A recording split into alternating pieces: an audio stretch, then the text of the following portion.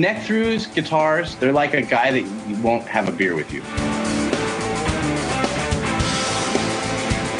I want to hear what's pushing the notes.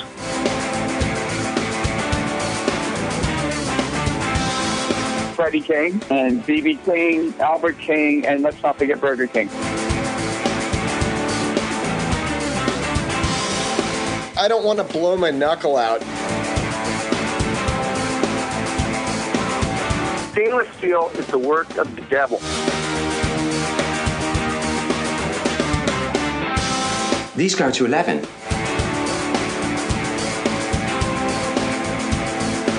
From the East Amplification Tone Labs in Baltimore, Maryland, it's the Amps and Axes Show with your hosts, Jeff the Godfather of Low Wattage Amps Bober and Mick Marcellino.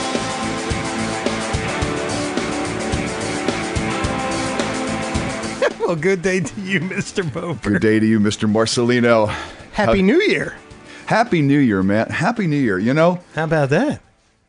2014, as as grim as it got at times, Uh huh. was also a pretty damn good year. Yeah. You know, it, it's, I think it would split right down the damn middle, man. 50-50. We are doing this. Uh, this will be one year, Yes. the one year anniversary. One year of the show. anniversary. So, uh, Show. How about that? Happy New Year and happy anniversary. Yeah, man. Yeah. Awesome. Yeah, it's good stuff. It and is. for the new year, you know, we had a very good relationship with Mr. Dave Nassi. Yes. and he did some very awesome stuff for us. So you can check him out. You can go out to our archives, and uh, he did Lick of the Week. Yes. Well, he got a gig. He's playing with like a country band. He got bi- a touring band, Yes, right? Or something? Yeah, he got doing his thing. busy. Yeah, and he's still doing all the Skype lessons. He's doing all that stuff. Yep. Um, and it just ran into time. You Yeah. know, and and we look, he was doing it for free. We couldn't ask enough. I mean, that was just awesome for him. You know, do that. unfortunately, there's only 24 hours in the day, and you can't buy more. Yeah, and You know, he, he can't- used all 23 Yeah. and slept for an hour, but uh Right. so you know, we uh he Kudos he, he said for all that. Absolutely. You know, I mean it's awesome that he's got some success going on with the band and he, you know, he he couldn't do it anymore. Mm-hmm. And we were like, "Hey, thank you for doing what you did." Absolutely, man. You know, So- you got to baby needs a new pair of shoes. You got to put food on the table. You know what I mean? So go make the money. And um and then we, you know, we've interviewed uh Jason Sadites Yes. And we, if, the matter of fact, if you listen carefully underneath this episode, you will hear um, his his albums. nice. Um, he he gave us permission to, to, do that for a bed? little Yeah. bed. Yeah. Right. Well, I, he did a he did a video, and he sent it to us, Mm-hmm. and it was it was just crazy. I mean, it was like this, just these fleeting fingers just everywhere. He's got monster chops. And It's just crazy. Yeah. I mean, just these leaps and bounds. And then I said something to him. I said, "Hey, would you want to do like uh because he had it titled Quick Lick." Mm-hmm. So it we we got a new segment. It'll be Jason Sadites's Quick, Quick Licks. Licks. and and and so we're going to run that now every week. Mm-hmm. Uh, they're a little bit different than Dave's. Dave did more of the teaching side. He went to full explanation of what he was doing. Mm-hmm. Um, Jason is just laying it out there, and at the end of it, you'll see a little tab. with tab. Yeah, with tablature. and he does it fast, and he does it slow. Yes. And you know, hey man, these Someday I'll be able to play the slow version. these are cool licks. I mean, these are crazy. They're not. yeah, they're They're, not, your run of the mill stuff. They're, no, they're they're not like in your box uh, or whatever box you pick, pentatonic or or No. mixolydian or anything. You these these are sedidalics. You will be yes, they are, and you will be using the neck. Yes. So we yes. can't thank him enough. Yes. Thank you enough. And uh, not enough. he uh, he just and he pumped out a bunch of them. We actually have an archive already. Already, yeah. So we will just bring those to you as the weeks go on for the for the A, a new weekly feature. yeah. So, Jason, thank you very much, man. Thanks for taking the time and the initiative and just, and offering the, that to uh, us and, and Yeah. our fans, all And- the Amps and Axes fans. if you look at it in the back, there's a little East amplifier True. sitting in the background. Well, he's got a couple. He strategically put that there. so it's, uh, it's kind of a cool thing. It's called product placement. yes, it is. and I thank him very much for that. Thank you, Jason. Yes. It didn't go unnoticed. this will not be on our YouTube page. This will run on his, but we'll have the link on the front of our page. and then we'll archive it out like we do with the shows Cool. on the video page that we have. So they'll be out there, you know, forever. Mm-hmm. And you can um, try to learn them. Try is the operative for me. Yeah, I, I know that's the case. Yeah, But, he uh, has a. Uh, he's just fluid. Yeah, It's just crazy to watch him play. and and yeah, the the string. so not only the finger span, but the string span from one end of the lick to the other. It's just you know, You're I gonna- mean, you're all gonna- six strings and maybe even seven, even though there's not seven on the guitar. Exactly. and you're going to be using the fingerboard. Oh yeah, Uh, you're going to cover some. You got some real estate you'll be covering. Yes, So I, I, you guys can watch those. stretch actually. your fingers, friends. Yeah. Stretch you can watch those uh, with this episode. Yes, So first that- one, first one. first one with this episode. So thank you, Jason. And, uh, Absolutely. we look forward to more. Now the other question, and I didn't mention this to you. Okay. I wanted to see, and maybe we can get some comments from this. If uh, if I can contact a very well known classical guitar player, if people would want to hear that interview, A classical guitar interview. an actual classical guitarist, Mm-hmm. a, a working classical guitar player that that's supposedly um, very popular in that realm of music. He's not a household name, Interesting. but he is. he- Well, you know, it- not being a household name would not be a first for us. no, You know, because I think we've introduced people to a, a lot of names that they did not know before. you can't cover it all. No, no, you can't cover it all. You'd have to not do anything else but that if Right. you were going to try to cover it all. Yeah. You know, but I figured, uh, you know, we put it out there to the listeners and uh, maybe get some feedback. And if we get, you know, a couple people that say, "Hey, yeah, I'd like to hear about that," mm-hmm. Then we'll get the guy on. I mean, we had Adam Rafferty, but he's a different type of. He's a fingerstyle player. You know, the Right. the acoustic thing. but not a traditional classical. Um, This is a dude, yeah. traditional classical player, and uh, I've never heard any interviews with those guys. So I was thinking maybe that might be something different. How he It- got to start. How he went. He was a graduate from Peabody, which is you Okay. know, local. Okay. Yeah. Oh, yeah. Yeah. But know. world renowned. Yeah. Yes, yeah, it is. Yeah. So, Yeah. Give us some feedback, people. Yeah. Let's. uh and while they're giving us feedback, Yeah. first we have to say thank you for tuning in. Yes. Thank you for clicking through the Amazon banner. Yes. We're awesome seeing job. that, and the and the PayPal banner that we have on our website. Cool. But uh, also the comments. We're getting more comments. Nice. And we thank you for that. More of those, uh, uh, please. As many as you want. Five stars, always please. Five star. Yeah. And uh, and helps. definitely throw your comments at us. We had some really cool comments that came in, Yes. especially about the uh, the the tone thing with the wood on electric guitar, how it affected the tone. Yes. Yes. And one guy, boy, he wrapped that thing up perfectly. He he I think he put it in a full in a, in a closed loop. Yes, he know? did. Yes, yes, that was he took it from a scientific place and he also used just normal logic Right. and said nah, you gotta you gotta put both together absolutely. yes it does do this but yes the wood does do that too so it was it was pretty Mm-hmm. It, interesting it was it was a pretty closed loop. It was a, it was a very a very lengthy concise- email i would love to read it but it, it yeah, was but it was a very concise um, roundup of how he thinks the physics of it works, mm-hmm. and it was yeah, it was really good and Yeah. and, and succinct and like.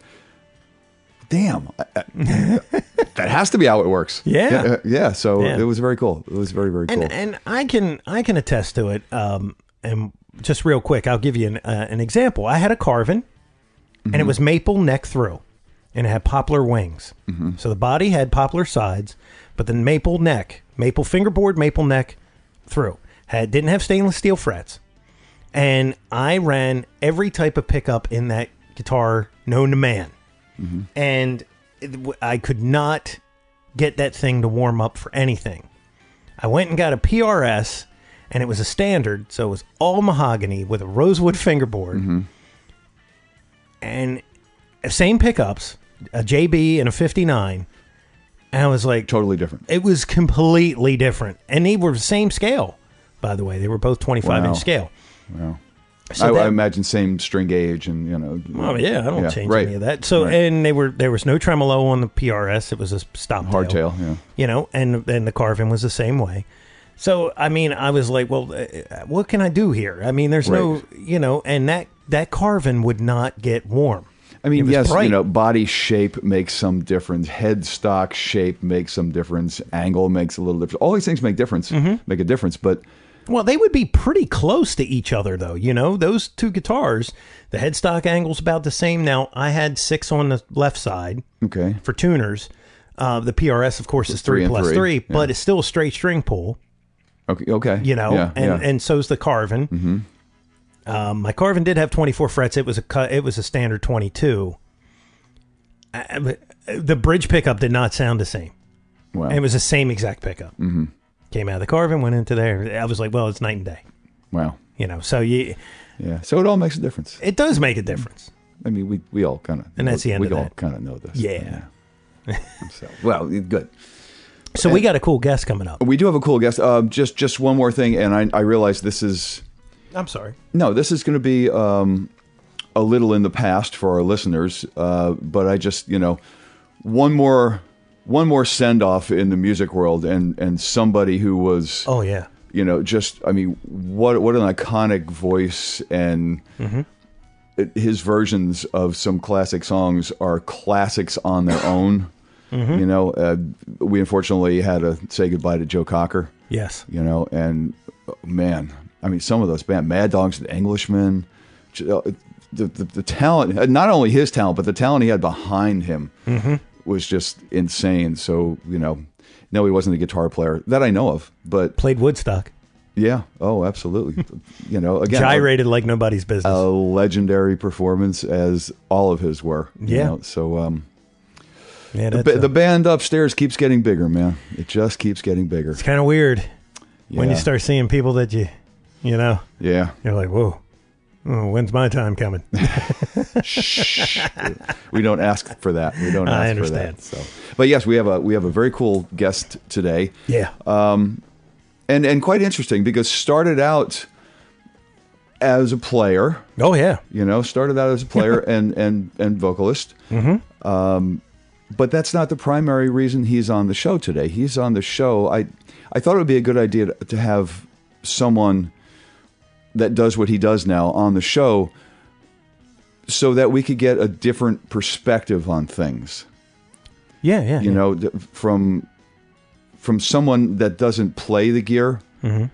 but has to deal with the sounds it makes yeah. you know so i just thought it was a whole different perspective perspective and um Well, we've had we've had the studio guys, right Drew and Frank. and frank right this is this is a live situation now yes, and we have not had a front house guy. right yeah Drew has done front, and so has Frank. Uh, they both have done front house, but but we brought them in uh, As the studio as a studio guy Yeah, yeah. so today on our on our episode we're going to bring in uh, somebody that, that we've known you know from the way back I've followed this guy's career since day one. Um, yeah that that is is a you know he, he travels the world doing front of house now so um you know without further ado we shall bring in mr brad divens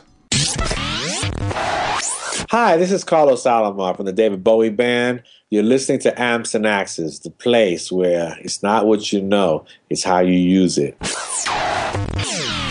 all right so we're back and as promised mr brad divens brad how are you Good. How you doing? doing very well doing very well this uh my, my co-host in crime, uh, Mr. Mick, is here. Say hi, Mick. Hey, man. Brad, we've had conversations. Uh, you probably don't remember. Uh, my wife is Colleen Carew, and uh, and you know we've crossed paths. Uh, you know, just occasionally at some places where he may be hanging or or a band would be playing or whatever. And um, back then, it probably would have been uh, Colleen from '98 Rock. Yes. Yeah. And Okay. and uh and I followed his career early on. Mm-hmm. Um, I used to before I was 21. I used to get in a car and drive from Harford County to the Rabbit's Foot out Oh, in. Frederick, Maryland. um, that's a that's a hike. Yeah, it is a hike. Um, from Harford County, and uh, we used to see these guys when they were just Wrathchild. Right. Um, for those of you that don't know, Brad, uh, like I said, he's he's he has a different function now. Yes. But he was uh, also a, a an original member of a band from the East Coast called Wrathchild, who Yeah. later called Wrathchild America. Because of some punks in UK, but okay, that's right. yeah. Now the cool thing was is, and I got a couple stories, and then we can go back and dive in like we normally do. okay, yeah, because I like to, I like to Start from the beginning. I know. And uh, now I got to see Brad play with Kix at the Towson Center Okay. uh, because you were on the second album as a guitar player, correct? That's correct. Okay. And then I got to see him headline at Hammerjacks with Wrathchild America, and the opener was Pantera. Yep. How about that? Wow. Yeah. that was the craziest show, bar none. Wow. Oh yeah. Uh, real quick story. Okay. um, Pantera's playing. They shut the power off on them like three or four times because the stage diving was insane.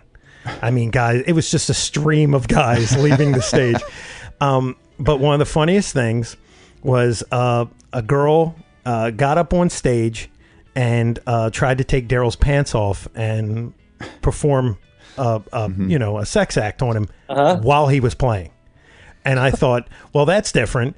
And then after they got off the stage, uh, you know, uh, Wrathchild America came on, and uh, on Jay's side, which was stage, if you're standing on the stage, left side, So it's stage left. stage left, um, a girl got somehow on top of the crowd, got up on the stage. She had a sock for a dress. You know those things. You know what I'm talking about. A little Yep. tube top. Okay, well, it was around her waist, and there was no underwear or anything, and she was going, she was going to go back out into the audience, and she was bent over, and Jay just boop hit her in the rear end, and she went out, and you know, just it was just a melee at that time. But I thought, Did he hit her with the headstock of his guitar? no, he just booted her with his boot. He Oh, okay. and uh, I thought that was the greatest thing ever. just It to rock and that. roll, man. It is rock and roll. Uh, let me tell you, uh, Wrathchild America, uh, they put it down uh, better than anybody. I mean, I have seen tons of metal bands, and I saw them God knows how many times. It, it was it was like a, a machine. It was just perfect every single. It was never a disappointment Wow. you know and and it just i you guys were i just feel like it was one of those things that it they it, it just was at some kind of cusp and they just couldn't get over that edge Right. because they were like baltimore's metallica. Yeah. you know they had that kind of but they were unique in their own sense you know? And and brad was not one of these guys that was like one of these growly screamers. A- and it was you know it was really it was a different sound. It was really good and it was heavy. And i mm-hmm. was into it man because you know i was into the heavy music. So it was it was really a refreshing thing. And i still go back and listen to the old stuff. And you know it's it's Vinyl. It's uh, no, no, no, No? It's CD, Oh, but okay. it, it's uh, it's very relevant. I mean, it's not it it like it stands the test of that time. You know, Well, maybe, Maybe the it was a, maybe it was a little, just a little bit too different for people to grasp. maybe grasp, I don't. sometimes I think. I, thought it was awesome, man. It was just you know, that's because you have an open mind. yeah. And then the Souls at Zero, you know, when they changed the name, uh, it was just you know, Yeah, we tried to do. You know, we tried to kind of do the same thing, but just get a little simpler, so maybe people would grasp onto it. But then, for whatever reason, we were on the wrong label, or you know, management wasn't right, or just something was never. The cards were never all in the. Was never a full hand, you know. And that happens for so many, man. It's And- just like one step away. four of the nicest guys you'd ever want to meet, Yeah. and just workhorses, man. I mean, mm-hmm. they were out there doing it during Well- that rough time too, because you know it was like Nirvana and stuff. You know, and- Yeah. Well, let's let's let's find out Yes, where I- where it where it came from for for Mr. Divens. When when did it all start? And you know, because you were uh, obviously a, a really good guitar player to play with Kix, so you obviously play guitar and bass. Uh-huh. Where did it start, and which one did it start on? Give us a little history on on Mr. Brad Divens. Well, it started on guitar when I was, I think, around 10 years old. And the first song that I learned was uh, Folsom Prison Blues by Johnny Cash. Ah, wow. it was that opening riff that hooked me. Right. And, you know, then from there, then I just started doing the guitar. I started playing guitar when I was 10, had bands when I was in high school, around 15 years old. Nice. I was I was the kid with all the posters from the Circus magazine plastered on my wall. That's cool. Ted Nugent, Ace Frehley, Joe Perry, Angus Young, Jimmy Page. Yep. I wanted to be just a little bit of each one of those guys. hmm And so, you know, I just kept playing in bands through high school and and I think what happened with the whole Kix thing came about is my band used to open for Kix a lot. And and you know, one day I got a call saying, "Hey, we're look, we need a guitar player, and would you like to join?" So you took probably Ronnie's place, I would I think. took Ronnie's place. You know, did that second record, Cool kids. and then yeah, cool kids. And then the record came out, and Ronnie came back, and I was out, which was you know, whatever, live and learn. And uh, so then I joined Wrathchild because those guys used to come and see my band play and would throw business cards at me. Terry and Shannon would. Wow. And so the day I got out of Kix, I'm like, you know what? I'm going to call these guys because they were always into me, and let's see what happens. And you know, one thing led to another, and then five years later, after joining that band, we got signed to Atlantic. Nice. Nice. That was a lot of hard work for those five years, touring all around the country in a van and trailer and playing five nights a week. Yeah, for sure. Now you could do that back then. Yeah, yeah, and there were a lot of venues to Living play. at it enough to pay your bills, and you know, Yeah, man. that's, that's that's where our sights were set. So what? Uh, well, I mean, when you first started playing in your high school bands, what kind of gear were you playing then? Uh, I had a what did I have back then? I want to say that I had like a Lab Series L11 amp with a maybe a Sun 412 cabinet. Cool. That's And I had a Fender Telecaster, which I still have to this day. My dad bought it for me. nice. 74, I believe. Wow. And I had a Les Paul, which I still have to this day as well. I think it's a 78 or 79 Les Paul. Wow. Wow. I mean, you know, we all started on the on the, the Teisco's and the Kimberleys and the you know the things like that. And if you, you know, maybe a Danelectro, if that's mm-hmm. half a step Well, I had up. a, I, my acoustic was actually the first thing I started on. That was a Ventura acoustic. I think it was like a hundred bucks, mm-hmm. which I still have too. oh wow, Wow. Yeah, that's very I cool. have the same 212 Peavey amp that my dad bought me when he bought the Fender Telecaster, and I've got the receipt. It was bought from Chuck Levin's. ah, Oh, look at that. Yep, wow. Deuce or Mace or uh, it was a Peavey Classic, oh, classic. Oh. 212s. Wow. Yep, and a Very- Fender Fuzzwah. Oh, cool. I still got that too. Oh, wow. Yeah, I'm sure that's worth a dollar or two. There's you my original rig. That is that is so cool. That is very very cool.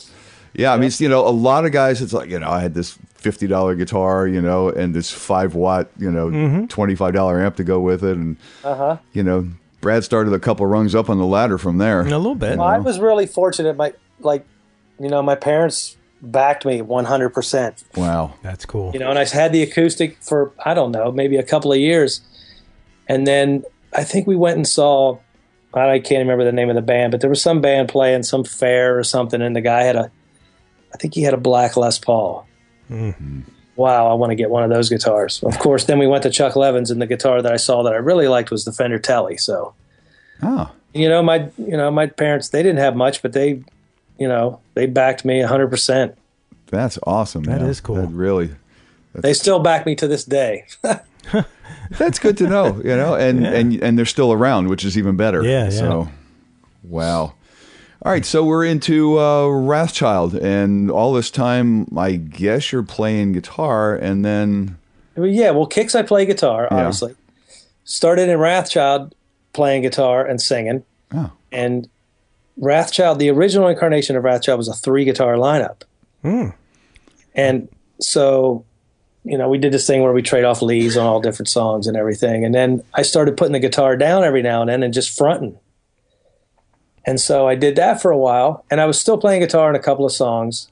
And then uh, we ended up I think we were getting ready to go out on tour again in the van and trailer doing a club circuit. And our bass player wasn't able to go for whatever reason, which we didn't find out until like a couple days before. wow, And, and, and we're like, well, well, fuck it. I'll play guitar.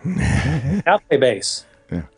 Yeah. And so we had his gear in the van. So we went out and I picked up the bass and figured it all out on the fly and we just went for it.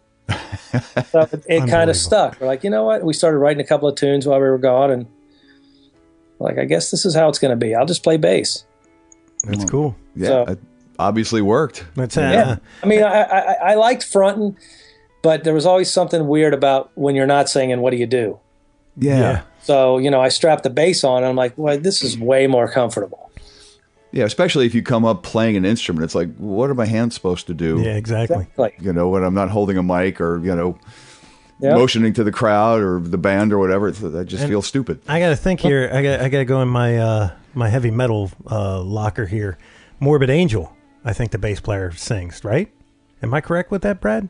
mm, I'm not sure. I think I think I saw. I I they opened up for uh, uh, Pantera, and it was um, it was uh, Sepultura, uh, Morbid Angel, Nothingface. Nothing and, Face. and and Pan- and Pantera. This was uh, the Steel uh, reinventing the Steel tour, and and I swear when Morbid Angel was up there, I saw Satan. because that was the scariest band ever. Uh, that's funny as hell. A lot of red lights and a lot of growling. So how long did um, how long did Wrathchild go for until uh, you were no longer playing with them? Oh, that was 83 to what 92 was Wrathchild. Okay. And then 92 we did a new demo that we started shopping and we decided to change our name and it became Souls at Zero. Yep.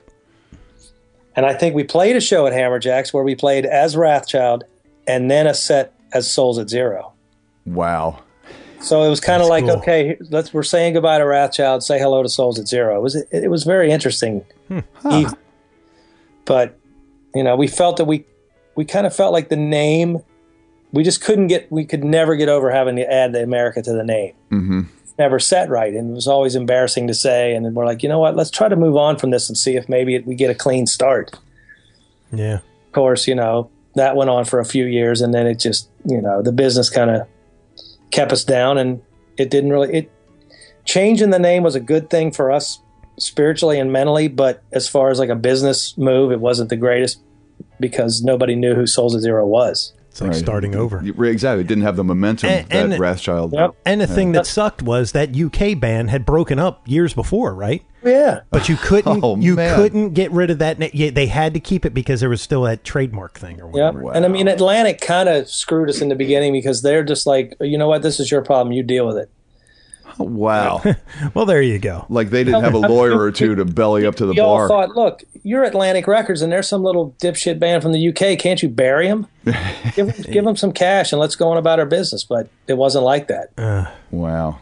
So well, the real heavy the, the real heavy bands weren't getting all that fair of a shake during No. those during those early years. they were signing a lot of bands. Yeah, and they were a lot of hair bands that were more radio friendly, doing you know, uh, you know the ballads and stuff during those those eighties, those late eighties Oh, yeah. and early nineties.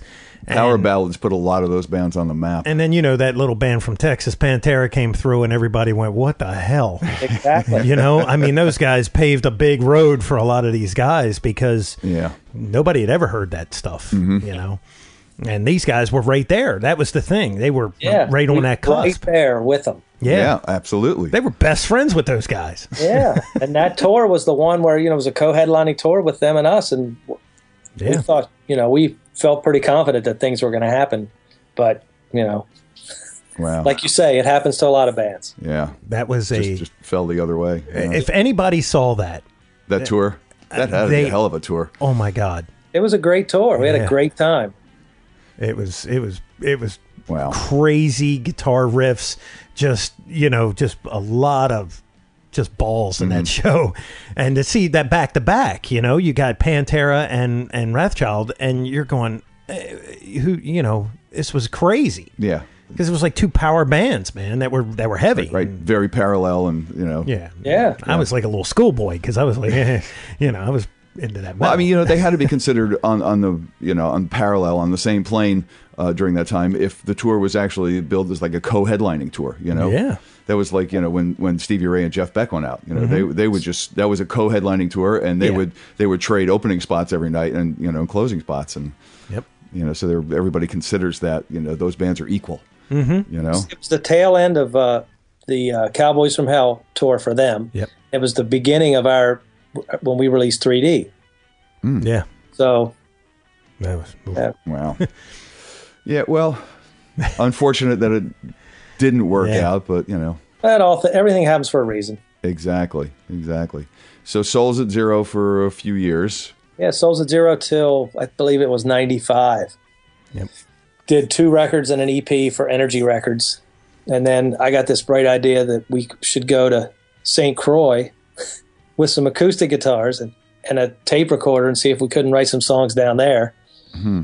And at the same time, me and Terry were just playing in this bar on. Uh, it was like a little outdoor bar in St. Croix for six or seven weeks. We went down there, and that was pretty much the end of the band because we didn't really get any writing done, and it kind of just all fell apart. And I'm like, you know, this maybe it's just time to go and do something different. And, and I don't know if you remember Mike Combs, who had Back Alley Gators, Oh, okay. who was also the singer in Strong Arm. Nice. And Shannon was in LA at the time because he had moved out there to join Ugly Kid Joe. Yes. Yeah. So they started calling me, like, "Hey, what are you doing? You know, why don't you come to LA? We're going to do this thing called Back Alley Gators." You know, and I'm like, "Oh, I don't know." And then the longer I thought about it, I'm like, "Well, why shouldn't I go? There's nothing here anymore. Souls at Zero is done. Maybe it's time to move on." And then I moved to LA. Mm-hmm. And we did a we did a record with Back Alley Gators that got shelved because the label said we don't know what to do with this. It was a three piece rockabilly Ska band, like almost, right? yeah, I call it. It was like ACDC meets Motorhead meets the Stray Cats. Exactly what it was like. That is awesome. That's that's great. It was as powerful as Wrathchild was, in a little different way. Wow. It was three people up there just fucking throwing it down. That is so cool. That's very cool. I've only Yeah. heard about this. I've never I've never heard this part. any of that available anywhere. It's well, I have a copy of it. It's not available, but if you guys want to hear it, I'd be glad to send you something. Oh hell yeah. Cool. Because it never got released, and Wow. you know, I don't. We can't really do anything with it because you know Mike is dead. He passed away. Mm. Oh. and there's some probably some legal ramifications to why we can never release it but i don't see any reason why people can't play it I'd love to hear it. Yeah, man, that would be For awesome. sure. Yeah. Yeah, because I had heard that that he was like I'd heard you know how the rumors are right. Mm-hmm. So I'd heard that you went out and you joined a ska band, and I was like, no it was it was when you hear it you'll it was definitely not ska yeah, but you know how it is when Oh, yeah. the story gets bent five different ways, and by the Oh, time yeah. it gets back to you, you're like, so he's in a he's in a Christian band. He's playing classical music now. You know. Yeah. So I heard it, and I was like, you know, and then nothing, Then nothing, right, Yeah, it yeah. just it, it, it was nothing there, and then yeah um, because we you know we i went out there we did the record. I think we went to europe for three weeks with ugly kid joe on one of their tours and did there was some skateboarding thing over there. We did austria and a couple other countries. And then we came back and the record was supposed to get released and that's when we found out that there was no deal and they weren't releasing it. And so we continued to do showcases around la and it looked like something was going to happen because i mean it was it was different but it was so cool when you saw the show because it was just three of us up there and it was you know one minute it's kind of like acdc the next minute it's you know stray cats reverend horton heat twangy vocal kind of thing and Wow. it was just really cool and it was really powerful because I mean hear Shannon was behind the kit, so you know what that's like. Oh, Oh, for yeah, sure. Yeah, Shannon is a monster. So, Looking forward to hearing this, man. This is this really piques my interest. yeah. That is great. That is great. So you're in L.A. for a while. uh, Yep. doing this. so I'm in LA, and now I'm in LA needing to pay my rent, and I'm like, what am I going to do now? Here, like we can do these showcases, but you know. And then a friend of mine was like, hey, there's a band looking for a tour manager. It was a band on the second stage of Lollapalooza called Agnes Gooch.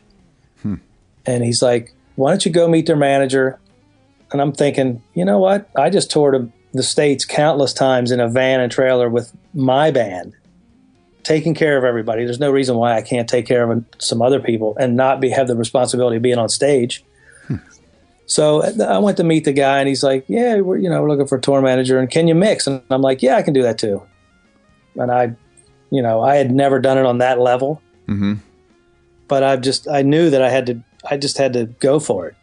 Y- yet another case of baptism by fire, man. How many times And I mean, do we I'm hear like, this you from know, I people? work for you know? sound companies. I've done stuff in the studio. I know the I know what the concept of mixing a show is all about, and I know what I want to hear. Mm-hmm. I'm just not exactly sure how I get to that point. Like, how do I make it? se- You know, how do I make that happen? Yeah.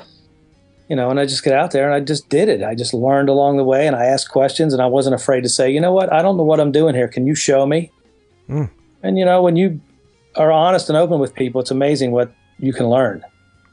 Wow. as opposed to just great. trying to be like, oh yeah, I know what I'm doing, leave me alone, and then failing. Mm-hmm. You know, so and, and then people thinking you're a wise ass for turning down their help, you know, and yeah, yeah, so there I am. There, what's that? Two thousand. That's 1990, 96, I think, was that gig, or ninety seven maybe, was when I did that. Three years later, I'm doing front of house for Linkin Park. wow. So I'm doing Linkin Park, and then you know after that, I think I did I did some Kid Rock stuff. I did this band called Him, Counting Crows, Cyndi Lauper, Bob Seger. I mean, it's just gone on and on. Wow. And at one point, I'm like, there was a one point where I was just starting to mix and tour manage, and still would go back to LA and do showcases because I still wanted to be on stage. Cool. And at some point, I'm, I said to myself, I'm like, all this other stuff is happening, and I'm not even trying. I was never set out. I never set out to be a front of house engineer. Mm-hmm. And then it starts happening. I'm like, maybe this is the way I'm supposed to go. You know, so I just kind of went with it, and here I am now mixing front of house for Enrique Iglesias. Wow. I mean, and I, I'm like, how did I get here? That's crazy. I mean, you know, sometimes you just got to let go of the reins. Well, yeah, because otherwise, I mean, I, wouldn't have cared if I would have been playing clubs for the rest of my life, but I wanted a little more than that because, you know, I wanted a family, I wanted things, and, you know, and sure. Yeah, so, man. and, and, and the fact was that it was, it was going so well. And I mean, I, I figured out how to, you know, I must have figured out how to do it or I'm really good at faking it still. But, yeah, but you you know, know, when something goes that well, I mean, how do you just turn your back on it? and Go, nah, I want to go back to playing bars. You know, well, that's just it. yeah. I mean, and it's it's ever bit as as rewarding as being on stage. It's just a it's it's different because now I'm on the other side, but yet I'm still responsible for being for the creative part of the show and and making sure people enjoy what they're hearing and having a good time and you know yeah. I'm just behind the scenes. But I mean, But I have a gig that cannot fail. Yeah, Yeah. The audio cannot fail. yeah. You know, That's that's that's that's a, maybe a little bit more uh, of a large responsibility than being one of four guys on stage or five Yeah. guys on stage or something. You know, yeah. He's like the hand of God. exactly, exactly. I mean, I love it. I I love what I'm doing. Yeah, I mean, you're still involved in the music industry, and you know, I mean, I- it's a wonderful industry, man. No matter what part of it you're in, it's great. Yep, it's what I know. So Yeah. that's what I do. Yeah, You know, and I've gotten to mix some studio stuff. I've got to do a lot of broadcast stuff. I work for a band called Garbage. You know, Oh, yeah. a couple years Exactly. back, which Exactly. I mean, that's Butch Vig, and yeah. you know, Hmm. that was a that was probably one of the best gigs I ever had to Now- earn respect and trust of that man. oh, for sure, You know? for sure. Wow. That's uh, yeah, there's um, there's a lot going on with that guy. Yeah, I mean, there's another one of those things. I'm sitting in the in the rehearsal space before the tour starts, and I'm thinking, I'm mixing Butch Vig. He's going to come walking in here any minute. To he wants to listen to my interpretation, you know, because we're tracking and I'm mixing and doing playback and all that. And he, I'm like, he's going to come in here and want to hear what I'm, how I'm mixing his band. Like I'm just like sweating and nervous, and, mm-hmm. and then he walks in, and it's like, this is so cool. How to get here working with Butch Vig? That yeah, that's awesome. I mean, you know, you're, you're mixing the band that he invented, and Exactly. you know, I mean, there's uh, there's there's a ton of stuff going on on stage, track wise and everything. I would imagine with Oh, with there's Butch. lots going on. Yeah, yeah.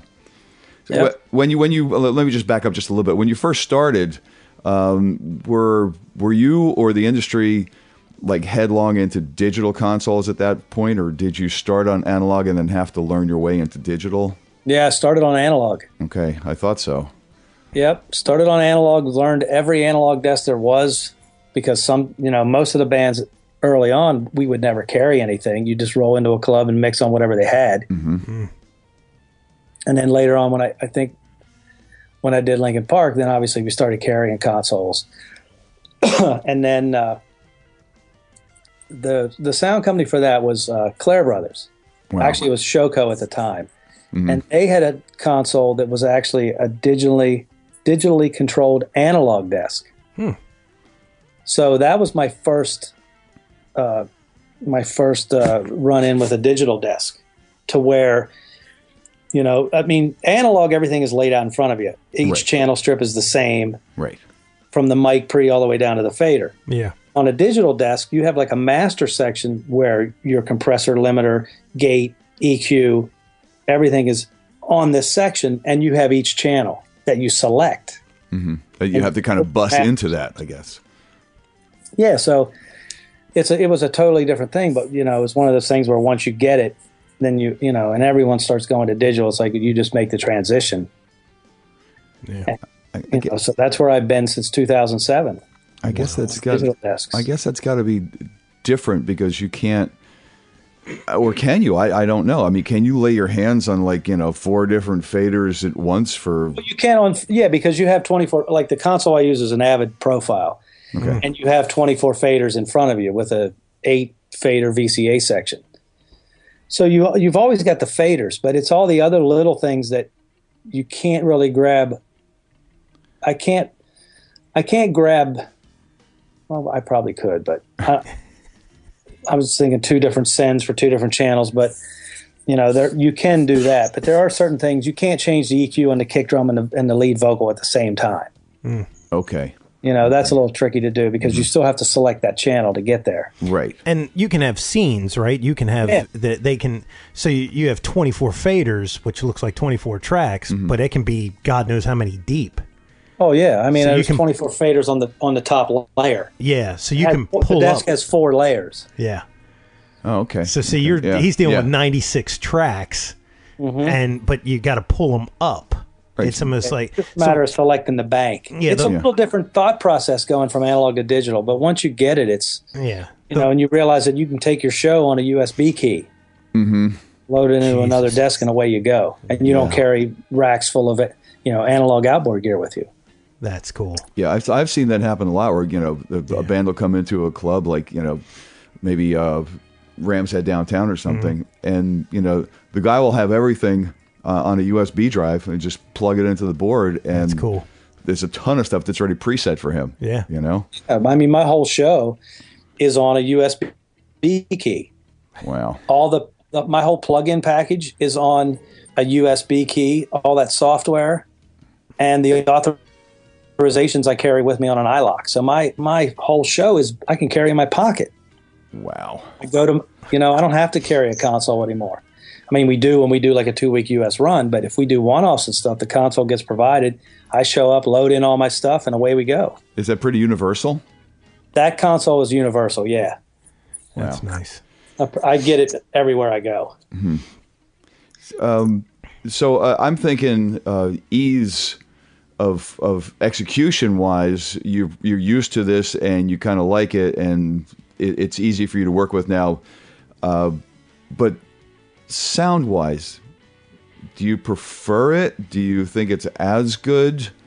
What's what's your thought on that? I mean, there are there are arguments that you know analog sounds much better than digital, and you know it's like my philosophy is I'm going to turn that knob until the until I like the way it sounds. So for me, if I like if the desk I'm using, I like the sound of the mix that I'm doing, then there's really not a comparison issue because I'm happy with what I'm doing. Okay, I get There's, that. I mean, I'm sure, yeah, there's other desks that are going to sound different. You know, the mic pre's are different on every desk. Some add color, some don't add anything at all, which is the beauty of the Avid desk is that it doesn't add anything. So it allows me to use plugins and I can construct my console can be a combination of a Neve, an API, SSL. You know, hmm. I can have my own hybrid desk. wow. That's so so cool. but the, but I mean, I like the way things sound that I mix on this console. So for me, it's you know, I'm happy. Mm-hmm.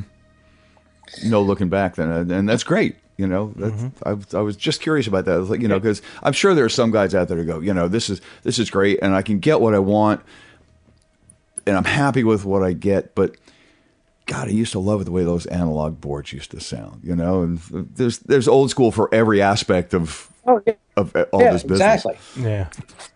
Yeah. All right. Now, speaking of old, old school, I mean, and this is called Amps and Axes. So, uh, I wanted to take your perspective uh, and throw it up to stage now. And do you prefer working with live amps on stage, or do you prefer ISO, or do you do you prefer uh, v- uh, virtual? I mean, what's what's your take on that whole thing now? I, there, I imagine you've worked with all of it by now. I've worked with I've worked with all of it. Yeah. So that's a that's a tough one because I mixed Motley Crue for a while as well. Okay. Now you got to have amplifiers with Motley Crue. You got to have cabinets on stage. Yeah. You know, I would hope. I would hope.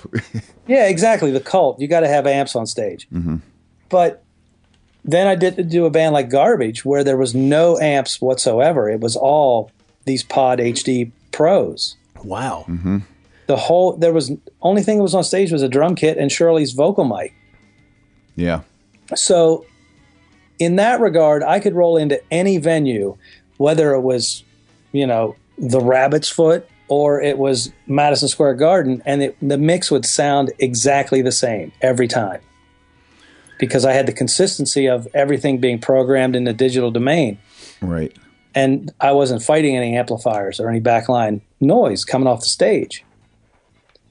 So, in that regard, I really enjoyed mixing that way because it was it was like mixing a record every night. Hmm.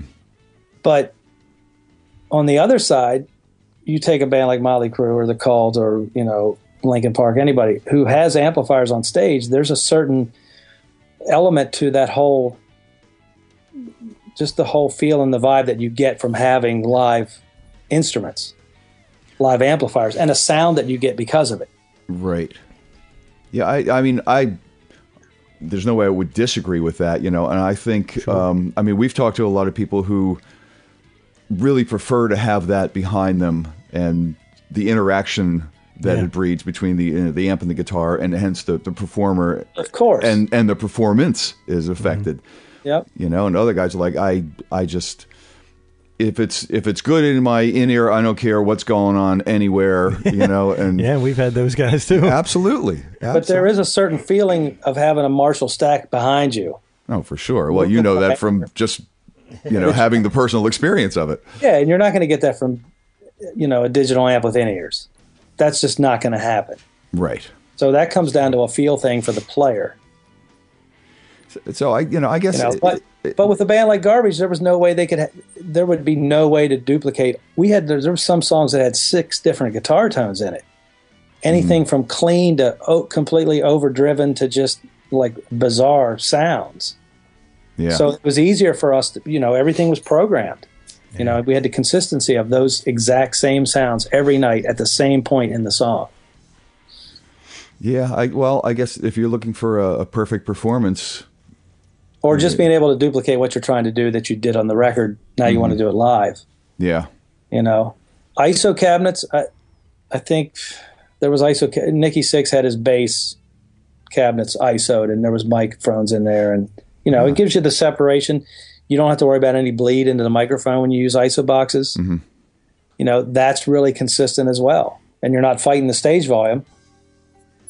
right, right. Especially Yeah. with vocal mics and everything. So Yep. Yeah, I, you know, again with ISOs, you know, if you're the player, you're relegated to either monitors or in ears or whatever is happening, and you Yeah, because even with the ISO cabs, I mean, they're off stage somewhere, so you're not feeling that at your back either. right, right, of course. You know, unless you got wedges or something, and you know, in which case it's kind of the same, but not really. Yeah, it's going to sound totally different. Yeah. Yeah, it, it is different. I mean, at least it doesn't blow into the into the mic, but you know, it's Yep. it's a different I thing. mean, depending on the environment that I'm mixing in, you know, I can pretty much adapt to anything. So, I mean, when I mixed the cult, Billy Duffy's had a, you know, a big, he had a raging rig. yeah, I'm mixing in front of house. He's on house right, stage left. Mm-hmm. I would have to set front of house up at house left just to get away from his guitar. but at the same time, you know, it sounded that was the cult. It had to. It that's what it was supposed to be like. yeah, You know, yeah. so in which case I just moved over to house left and then I didn't have as much guitar in my face, and I was able to bring it up into PA. So nice. Yeah, I you know I I guess you know there are certain types of music that you can you can get away with with doing direct or you know modeled or you know whatever. There Um, are, I mean, the Kemper amp is a prime example of a good modeling amp. Yeah. Yep. They, uh, you know, uh, and especially you can do it, especially if, like in the case of garbage and things, all of that is is kind of the the, the music is made that way in the first place. I guess is Exactly. what I'm trying to say. So. That's how it was created. Right, right. So replicating it, I mean, it could be nothing short of almost perfect on any given night, you know. But taking somebody who's used to a, a full back line behind them, and you know, th- those those are the guys that have, I think, the the hardest time with it because you know, if you, even if it's ISO, um, virtual is even harder. But even if it's ISO, it's like, well, there's no feel anymore, you know. Yep. But uh, And those types of bands are used to, you know, playing together in a room with amplifiers blaring. right, Oh yeah. right, right. So As was Wrathtrap. exactly, Exactly. we were first in a concrete basement. Hell yeah. As I, I can even hear. and they had that little two-headed guitar monster, uh, you know, Terry and Jay, Uh, exactly. and uh, phew, there Guys weren't quiet. no, not at all. Right. Nope. and Shannon was definitely not quiet on those drums. So. Oh my God, no. No, no. We we had seen him a couple of years ago when Godsmack came through. Oh, he's amazing to watch. Yeah, yeah, he was crazy. And I remember the- when I when I first actually went and saw him play with Godsmack, and I was in the audience, and I at one point I was just I was almost in tears because I couldn't believe that I used to play in front of that guy. So that's what people were seeing. Oh yeah, Like Jesus, he's so good. yeah. it- it- It was really like wow. and and then he and, watching him is amazing. and then he It and really he is. and Sully do the the double drum thing. Oh, yeah. at one part. Yeah, it's it's Yeah. pretty cool. But Yeah. any um Brad, any desire to get back into picking up a, a six, four or six string instrument at any time? Well, there's always a desire. There's actually been some conversations had about this very thing. Oh, Wow. So, yeah, it's. You, I can't say that we're going to do it, but I'm definitely going to say can't say that we're not going to do it. For 100 percent, say.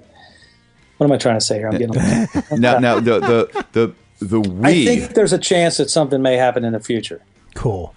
and and the we you're referring to. The we I'm referring to would be me, Shannon, Jay, and Terry. Get the hell out of here. Very nice. That's cool. I mean, we've been talking, and you know, timing is an issue because of what Shannon and I do, and you know, mm-hmm. Jay and Terry are busy as well, and we all want to do it. So that's That's very a step cool. in the right direction, and we all agree that it's got to be the four of us, or we're not going to do it. So Well, wanting to all four of you wanting to do. I mean, that's the first big step. Now- that's you know? the first big step, exactly. Absolutely. Now I gotta I gotta ask because I I did a little research, and Jay plays in a band up in New York, right? Well, actually, I think he used to, but now he's down in Florida. Oh, okay. So he's down. Him and Terry are both near Shannon down there. Oh, And Terry's playing in like a. He was playing in a country act band, but I'm not sure if he's still doing that or not. I think he might be. Terry's one of those guitar players, man. He can Amazing, play anything. amazing guitar player. Blind as a bat. Yep. One time, because he used to, he didn't wear sun, he didn't wear glasses on stage, uh-huh. right? And one time, he was trying to hand me uh, a pick off the side of the stage, and literally was nowhere near me. I was like, and then Would have been blind uh, with alcohol. Well, well, it was probably a, it was probably a two step thing, you know. Was- and my one friend goes, uh, uh, a good buddy of mine. He said, he goes, yeah, man, he he doesn't have his glasses on. He can't see shit. yeah, I think that was the case. No glasses and beer goggles. You know, There you go. There you go. That'll do it to you. Mm-hmm. Jay Jay played a Jay played a Strat, Yep. and Terry played a Flying V, right? Did he played a Flying V? He had a several Gibsons. I think he had a he had a Les Paul as well. Yep. But Flying V was like his main thing. Yeah, Nice. The whole Yeah. Het, Hetfield thing. Michael Schenker was one of his big Ah, influences. Schenker, yeah, of course. Yep. Yeah, they do. It they did a version of Pink Floyd's "Time." Was it Yep. Ti- amazing? And they did it it, it was it that was one of those covers that was you know it was definitely like a um, uh, an homage or something to, to Pink Floyd. We tried to do it as close, you know, to the original as we could. I'll but have- it still sound. I mean, it had the Wrathchild touch to it, of Yeah. course. It's a little heavier, but That was a great version of that song. Awesome. Yeah. Awesome. thank you. And uh, of course, uh, I'm not just I'm not drunk. I'm just drinking. Uh huh. Oh yeah. That's a good one too. yeah, for sure.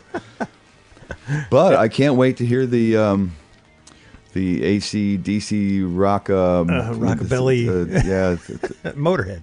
Yeah, yeah, Give me your email address or whatever, and I'll just give you a Dropbox link. A Dropbox link. sure. Oh that'd yeah, be that, great, that's man. happening. oh, That is- absolutely. that is definitely happening, man.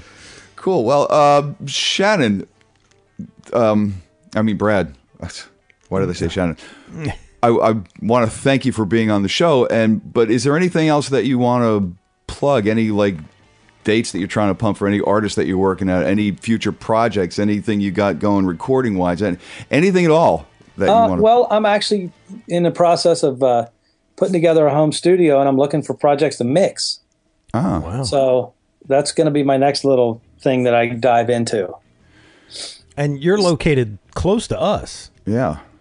Yeah, I'm in Hagerstown, Maryland. Ah, Okay. Hagerstown. My boys up there. I went full circle. I started here when I when I joined Kix, and for somehow I got back here, I, and I moved everywhere from Hagerstown to Virginia to Ellicott City to three times around L.A. back to Annapolis to Columbia, and and I end up here. It's crazy. Wow. Full circle. Well, the ride won't be so bad for me anymore. I live now in Carroll County, so That's, that's true. That's true. Right and you know. I mean, you can you can leave for a tour for from anywhere. to, to mix. So you know, I guess people could hit me up on Facebook. sure. We'll you know, uh, we'll put a link out there for you. get a web page up and running, but Okay. now that I've gotten to the point where I'm mixing, you know, front of house for an artist, I I actually have some time for myself now. Oh, good. Nice. I'm I mean I've pretty got, pretty much got to the point in my career where I'm fortunate enough to be able to pick and choose. Mhm. So you know I'm trying to get I'm I want to be more, spend more time at home and get a business going here for myself and you know I want to get back into the studio and playing and producing and that sort of thing. Awesome. So Good. Congratulations, man. Good on you. And and not to uh, not to end things, but uh, with uh, Drew Drew Mazurek, uh-huh. Those guys did a lot of the, most of their stuff. Right, was done out of Drew's studio. Yeah, well, we we did a lot of Drew and I actually did a lot of stuff in his, in his studio, and then Oz Studios when it was around. Yeah. Oh yeah. We did all three. Yeah, we did all three Souls at Zero records at Oz. Wow. Yep. I remember them, but we used to rehearse there when they were building the place. You know, Yeah. Joe Goldsboro and, and Yep. company, And Steve, and Steve. Yeah, that was a great studio. yeah, it was. And we would record for 16 hours and then pass out in the lounge for four or five and then get up and do it again. we lived at that place. Yeah, that was a great place, man. Good old days. Yeah. It's not Good like that anymore. It's hard to keep studios running anymore. You know, I don't think it is. And who knew that when you walk out of the out of that studio, if you went left, you would end up in an episode of The Wire. Yeah. oh, that's for sure. That's for sure. Thank thank God they had the uh, the big garage doors where you pull in and then load out. yeah, exactly. Yeah, you don't want to be doing that outside. It was a bit scary, but you know, we survived it. No, for sure, for sure. Yeah, man. Yep. That was awesome.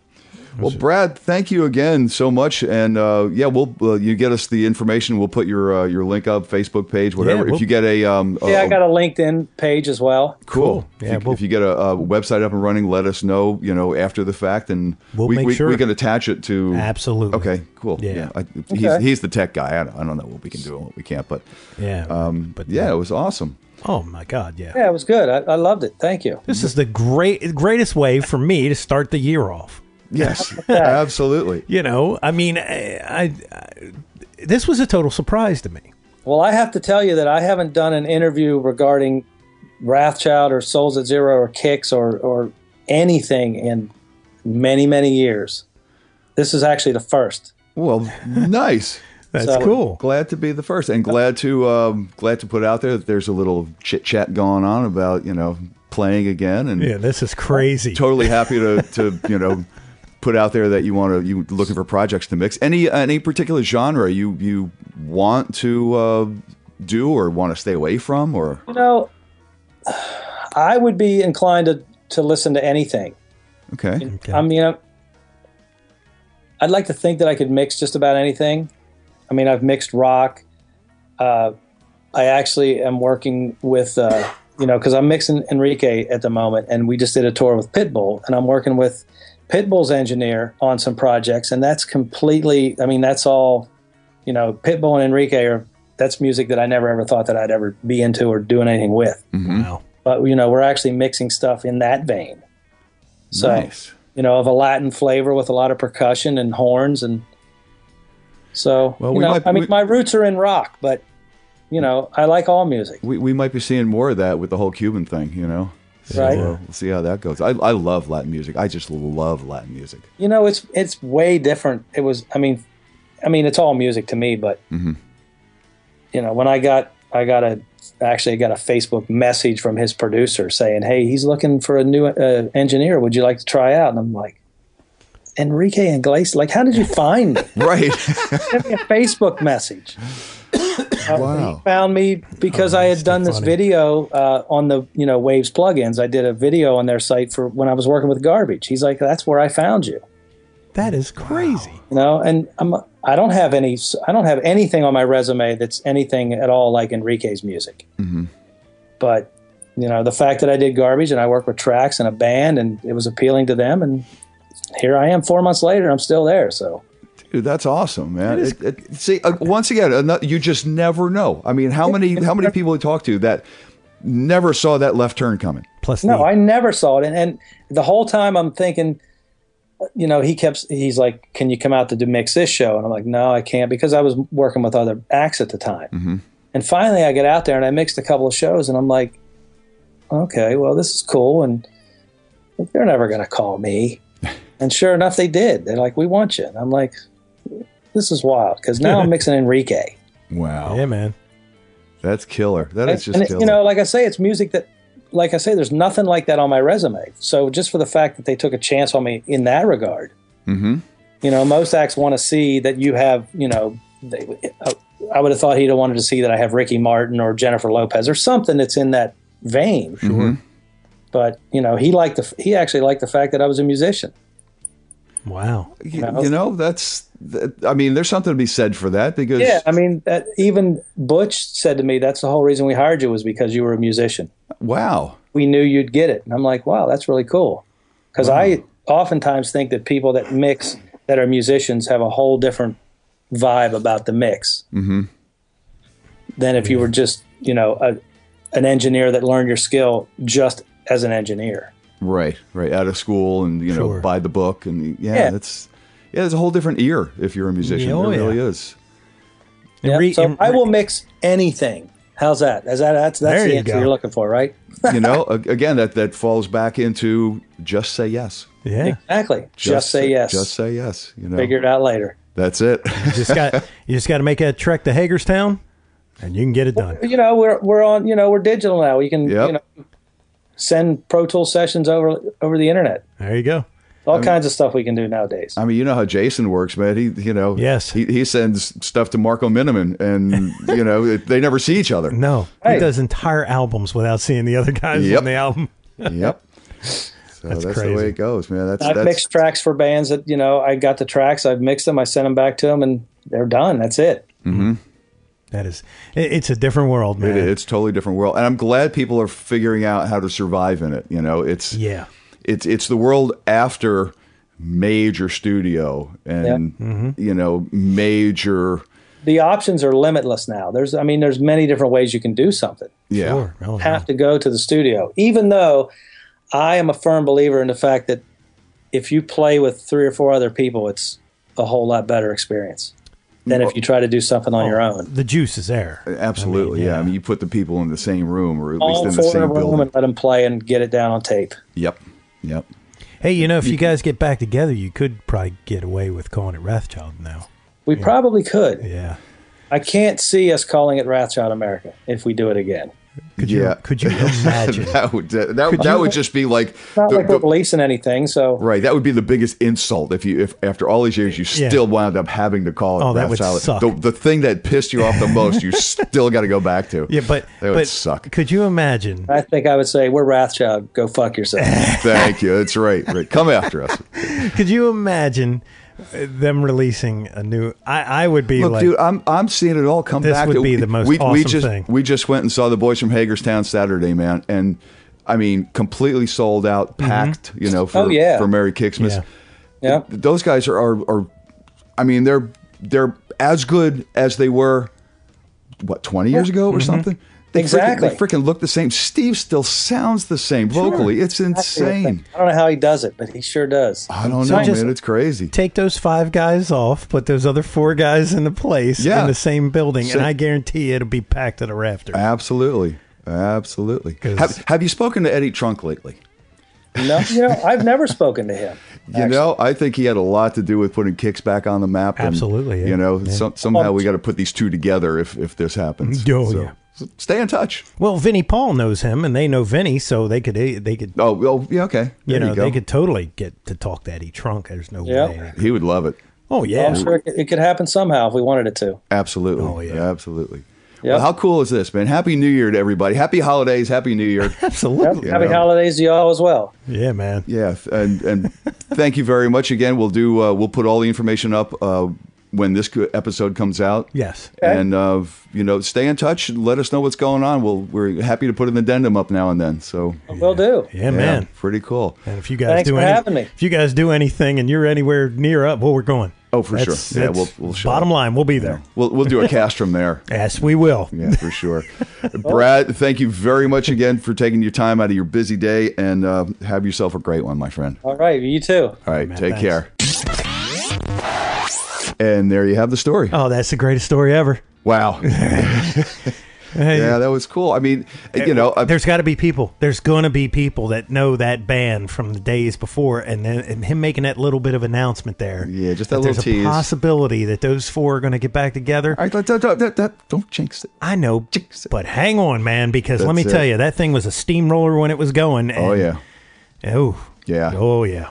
Yeah. Awesome, awesome. Yeah, I mean, I'm I'm happy that he wanted to speak about you know the early days and Mm-hmm. Wrathchild and Souls and everything. You know, I.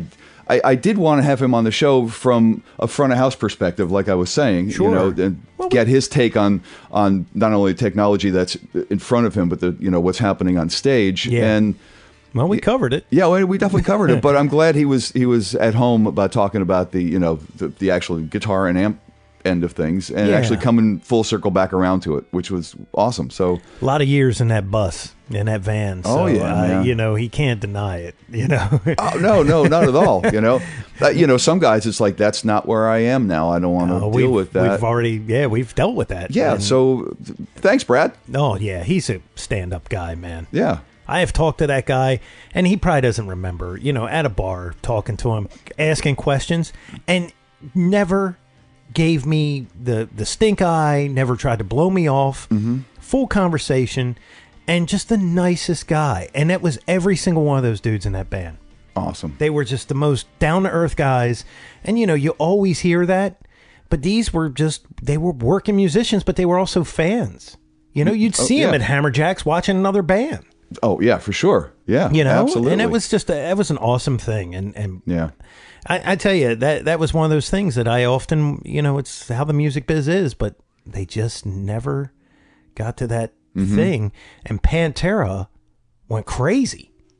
You know, Yeah, and see, And they right were- at that point, two parallels, Yeah. and one goes one way and one goes a slightly different way. And Yeah. it's, you know, And I forget what Pantera was on. I think they were on like Atco or something like that when they when they hit real big. I don't remember. I can't remember. And I You were a much larger fan than. oh yeah. And uh, but I just was like when those two played together, I was like, wow. You know, because you really It had to be a hell of a show, Oh, was- especially that early on. You know, that was that's crazy. you know that's that's like early raw Pantera. know, Oh, it's- they were, you know, they were, they were all fresh. Yeah, you yeah, know, yeah. Phil had not gotten into the heavy drugs that he got into later in their career, and it was, it was, you could tell they were, they were a band of brothers, and they were, they were tearing it up. Mm-hmm. This was Pantera. Yeah. But the friendship, I remember at the end of the show, just real quick story. At the end of the show, um, Wrathchild's playing. They were headlining because it was at Hammerjacks, right? That co-headlining thing. At the end of the show, there's Dimebag and Rex out on stage with Phil singing, and there's Vinny up playing with Shannon. Nice. They all were on stage together doing their thing, and they were doing some song. I don't even know what it was. I can't. I can't. Doesn't matter. It doesn't matter. Doesn't matter, right? No. Yeah, that's awesome, man. Yeah. Terry, That's the way it should be. Terry could do the best ace of spades, I think, this side of of the Atlantic. And he even did the thing with the microphone. Where he Up, so you sing up in so the air? to Sing up. I Oh, remember that. great. That was back in their cover days. Uh huh. You know, but just an awesome band. And and I know I'm a metalhead guy in that sense, but that is that was one of those things because that was Baltimore's deal. You Oh, know, yeah. that was our own home thing, and and there's not many heavy bands. Uh, Clutch maybe, but they're from out there, aren't they? Aren't they from out in Hagerstown? I don't know where they're originally based. Um, I, and I, I thought they are heavy, but they're a different kind of. They're not. Yeah, they're not in that realm of what uh, you know, Souls or Wrathchild Yeah. or even Pantera in that sense. But you know, just another. They're, they're another good band. Though. Oh, they're a killer band. Yeah, Love yeah. Clutch. Yeah. Yeah. they're they're cool. Mm-hmm. They look like they, you know, like just worked on a motor, and then just got up on stage. They come out and bludgeon you. Yeah, and you know? just just start playing. You know. yeah, right. Yeah, I love those guys. So until next time, my friend. And there will be because they just keep getting better times. Happy New Year. Happy New Year to one and all. And I'm Mick Marcellino. And you? That just leaves me to be Jeff Bober.